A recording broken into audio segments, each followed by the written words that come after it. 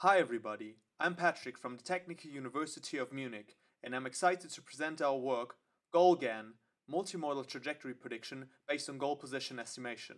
In this paper, we tackle the problem of pedestrian trajectory prediction. Given the past position of a pedestrian, we aim to predict their set of possible future trajectories.